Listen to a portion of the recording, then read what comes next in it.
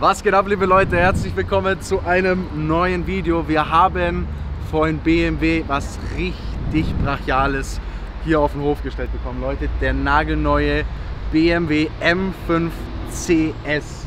Na, den gibt es jetzt auch als CS-Version. Das heißt, nochmal richtig pervers. Das ist ein Wahnsinnsgerät geworden. Hammermäßig, wie der da steht. Wir haben ihn, es gibt ja zwei verschiedene Farben, die man, äh, mit denen man ihn vorgestellt hat. Einmal mit diesem Frozen Deep Green, so ein, so ein dunkelgrünes Matt. Und das hier ist das Brands Hatch Graue Matt.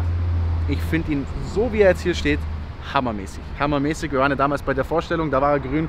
Aber das ist wirklich nochmal eine ganz andere Nummer. Der ist brachial geworden. Ne? Leistungstechnisch hat der äh, V8 10 PS mehr, das ist nicht so viel äh, mehr zum Competition, also 635, aber sind auch 70 Kilo aus diesem Auto raus und das äh, macht schon einen Unterschied. Also Beschleunigungswerte, die müssen, die müssen wirklich sehr, sehr böse sein.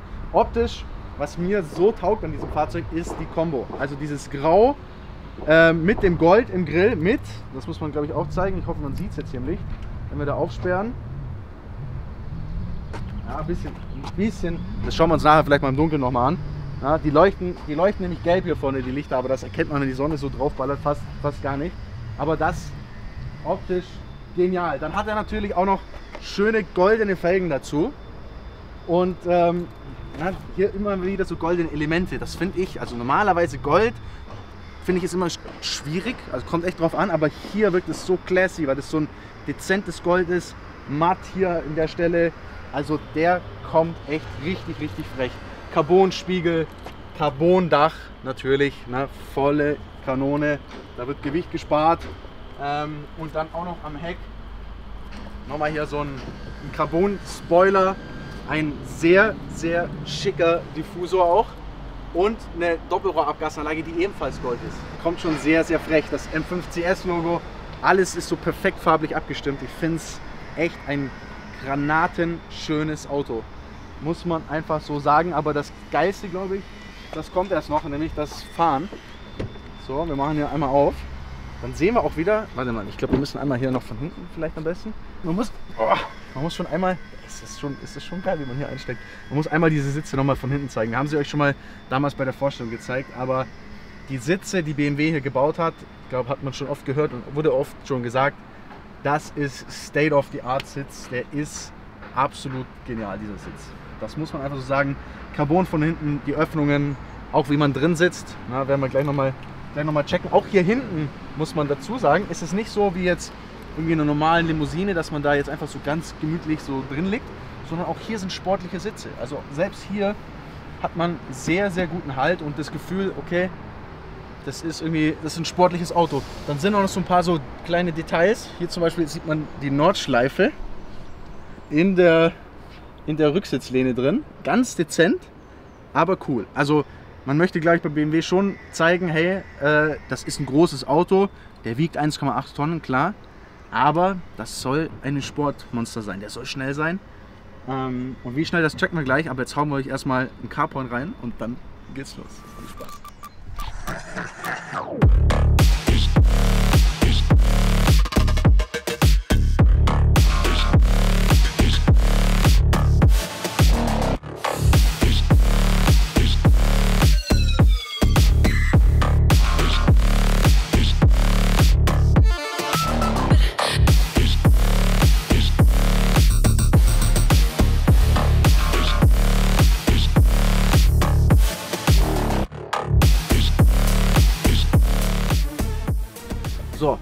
Steige jetzt mal ein, Leute.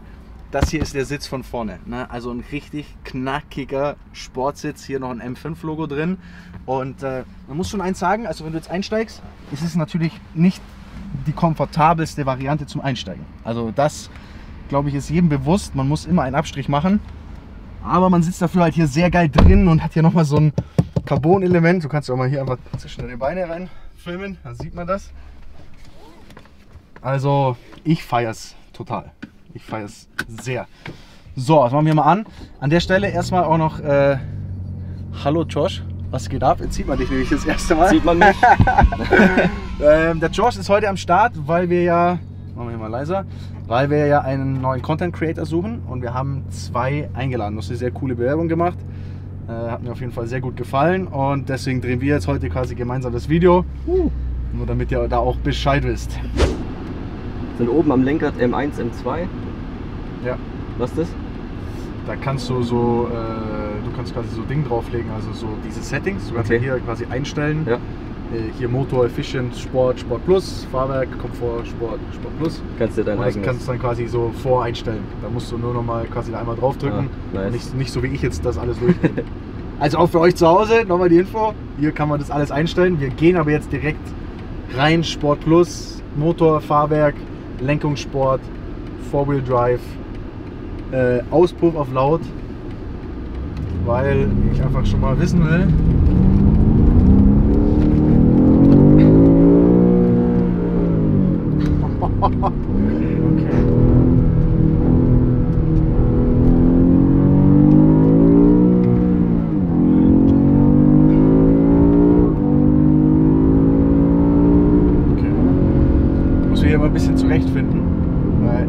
letzten Mal, als ich hier den M5 war, habe ich den Fehler gemacht, dass ich im Stand das Ding nicht in Sport Plus gestellt habe.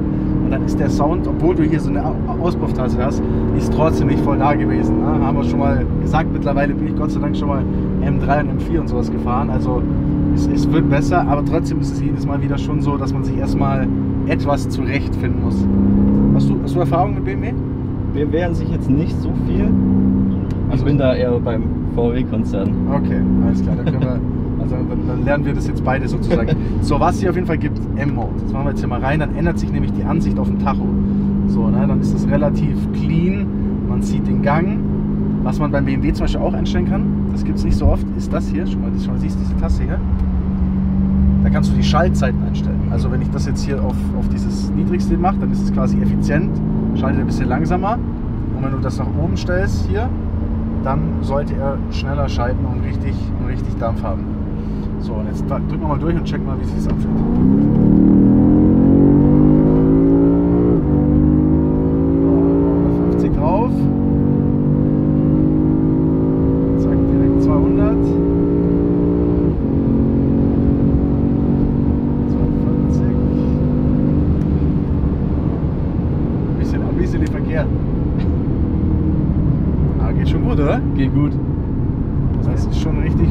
Gerät, gerade so die erste Kurve. Man merkt auch direkt diese BMW-Charakteristik. Ähm, was, ich immer, was mir echt immer sehr doll auffällt, ist, dass einfach die BMWs eine starke Vorderachse haben. Ja, also, merkst du das? Merke ich. Das ist crazy, oder?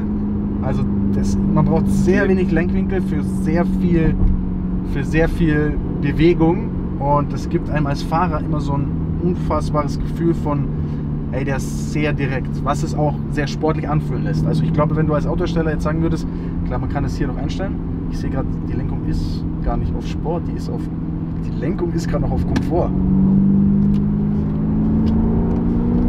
Okay. Okay, das war Komfort gerade. Ähm, na, wenn du jetzt natürlich als Hersteller willst, dass dein Auto sich sehr smooth und komfortmäßig anfühlt, glaube ich, würdest du das nicht machen. Aber wenn du willst, dass es sich sportlich anfühlt, dann machst du es so. Und dann merkt man auch direkt, wenn man da mal um die Kurve zuckelt, wie sich das Auto bewegt. So, jetzt schauen wir nochmal, ob wir mal hier einmal durchheizen können. 230. Also der Durchzug ist schon brutal, ne?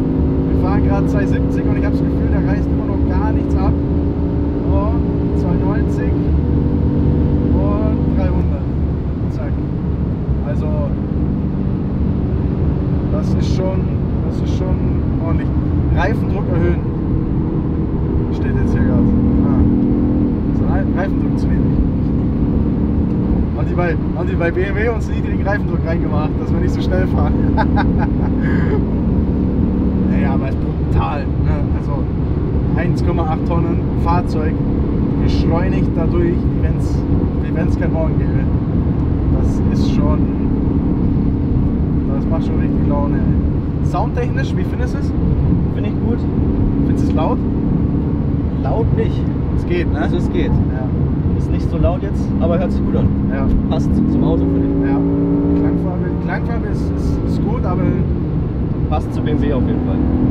passt zu mir.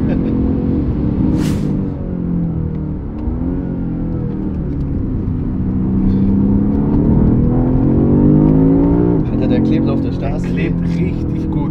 Vor allem, er hat so eine, eine also erstmal richtig gut stabile Traktion. Man hat gar nichts Gefühl, dass das Auto da ausbrechen will oder richtig regelt. Also so insgesamt richtig sportlich nice. Jetzt bestellen wir unser Auto mal da schnell hier kurz hin. Ähm, ins Dunkle, da können wir uns diese Lichter nochmal anschauen und nochmal einen Soundcheck machen. Das ist, glaube ich, ganz, ganz gut, weil sonst ist es hier so hell. So, jetzt sieht man das, was ich meinte, Leute. Die Lichter sind nämlich gelb, äh, wie man das so ein bisschen aus dem Rennsport kennt. Und das schaut richtig gut aus. Vor allem natürlich auch mit dem Grau und dem Gold in Kombination. Sehr geil. Von vorne das Auto wirklich erste Sahne. Glaube ich, vorhin habe ich auch nicht angesprochen hier. Ähm, auch in der Haube nochmal hier diese, diese Öffnungen, die wir haben mit Carbon. Macht schon echt mega. Also das Auto steht schon echt genial da. Das macht richtig, macht wirklich richtig Freude. Aber jetzt machen wir nur kurz den Soundcheck. Ich Diesmal, und mich. diesmal richtig. Ich opfer mich.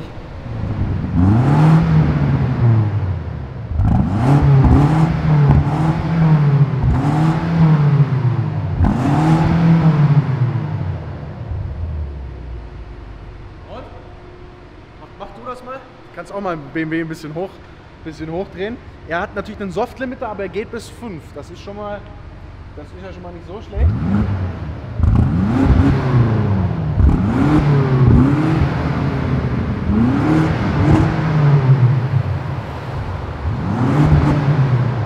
Finde ich ziemlich geil. Das ist schon not bad, ne? Sehr bassig. So. Also schon ein, ein freches Gerät. So, diesmal auf jeden Fall richtig gemacht. So, pass mal auf, jetzt fahre ich noch einmal hier los.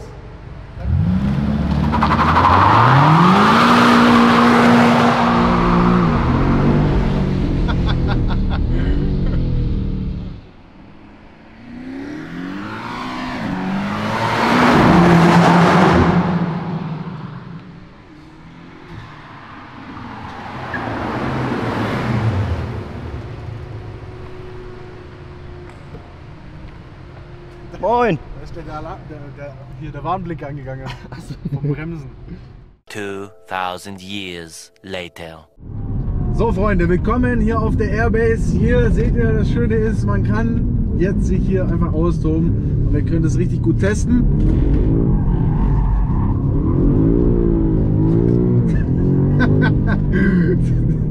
wow, wow, wow, wow. So, wir stellen ihn einmal hier hin.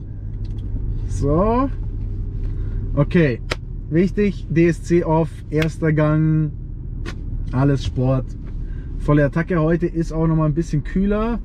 Das sollte ihm auf jeden Fall entgegenkommen. Somit schauen wir jetzt mal, was wir hier auf die Uhr bekommen. Achtung.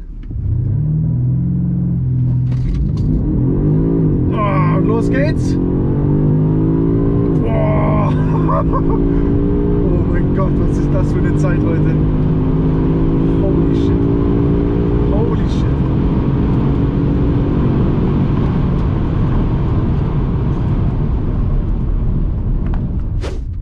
Null auf 102,96 Freunde. Das ist, äh, das ist gewaltig schnell. 100, 207,1. Das geht schneller. Das äh, probieren wir jetzt hier einfach gleich nochmal.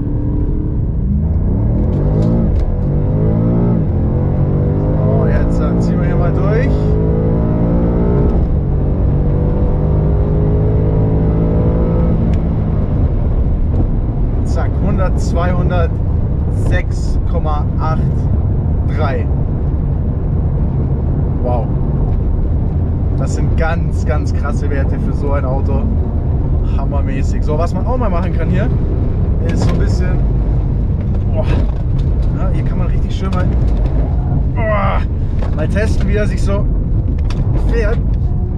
Es ist so heftig, finde ich, wie BMW die Autos abstimmt, dass die so vorderachsenlastig sind. Das macht so frechen Fahrstil, aber sorgt auch immer dafür, ne, selbst wenn man jetzt hier so einen Slalom fährt, du lenkst ein, die Vorderachse grippt und bam, dann kommt das Heck so. Also es ist schon ist nichts für schwache Nerven. So, zum Abschluss ist ja auch dein erstes Video jetzt hier. Jawohl. Bist schon mal so ein bist schon mal so im Kreis gedriftet, so Donut-mäßig? Gedriftet? Ja, schon mal. Schon? Bist du schon mal in den reingesessen? Warte mal. Das ist auch ein Test, wie gut du die Kamera halten kannst. Also, ich glaube, ich bin klar.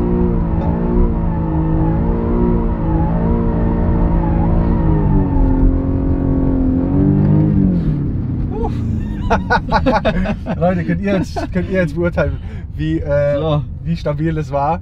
Äh, ja, danke okay. auf jeden Fall schon mal an dich.